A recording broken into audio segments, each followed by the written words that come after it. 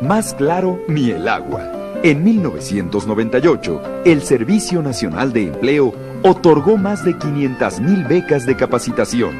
Gracias a ello, cada vez son más las personas calificadas con posibilidades de un empleo o de trabajar por su cuenta. Estamos dando pasos claros en la construcción de un futuro mejor.